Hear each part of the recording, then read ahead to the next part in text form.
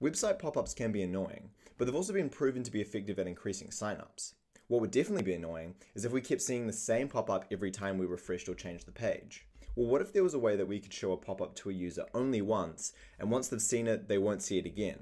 Well, there is a way, and I've made a Webflow cloneable to make it 10 times easier. So in today's video, we'll go through the process of copying the pop-up to our website and adding custom code to make it only show once across all pages. And with all that time saved, we'll then have time to go through the best ways that you can prune your bonsai tree. So let's jump straight in. So here's the Webflow cloneable that you can clone to your own account. And once you've done that, you can open up the project. And what we're gonna do is copy this pop-up symbol. So I'll copy this, I'll go back into my project, and what I'm going to do is I'm going to paste the pop-up in the navigation. That way it shows up on every single page without me having to copy and paste it across every page. So I'll double click on the symbol and I'll paste that in. And the only other thing we're going to need to reconnect is the interactions of the exit button and also the uh, overlay. So we'll click on the exit button, we'll go to interactions, and when they click on that, we will say that it will close the pop-up and we'll select the pop-up overlay and change display to none. And we're going to add that same interaction to the overlay.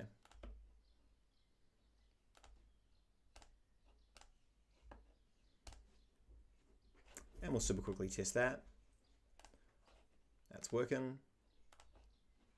And so is that.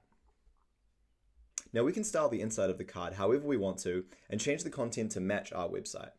And when we've done that and it's looking good to us, we're going to hide the pop-up. We'll make sure we have the pop-up overlay selected and we'll change it to hidden. Now we can click outside of our navigation. The only other thing we need to do is add in some custom code. So we'll go into our project settings so that the code is used across all of the pages. Go to custom code.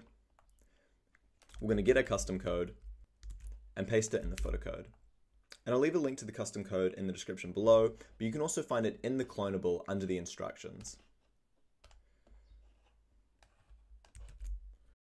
Now the only thing we're going to pay attention to here is this number here. Now this is how long that it's going to take until the pop-up shows up. So currently it's set to 10 seconds, but we can change this to any amount of time that we want.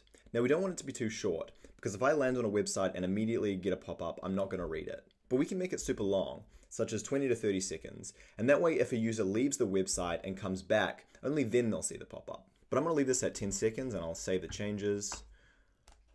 I'll publish my site. And it'll open up an incognito page to test that it's working. Now we're going into incognito because that way it won't save our cookies. So we can test this as many times as we want by closing the incognito browser and reopening it up again. And now that we've waited long enough, here we have our pop-up. We can click outside our pop-up and go to a different page, go to a different page, and now we can wait, and the pop-up won't show up. And the reason that it's not going to show up is because in our custom code, we've told it to only add the cookie once the pop-up is actually displayed.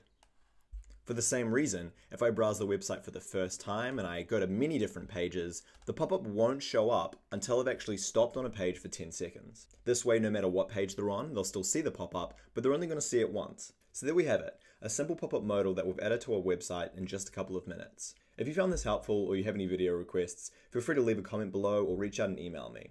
Otherwise, since we've saved so much time, let's look at the best ways that you can prune your bonsai tree. Now, there are a couple different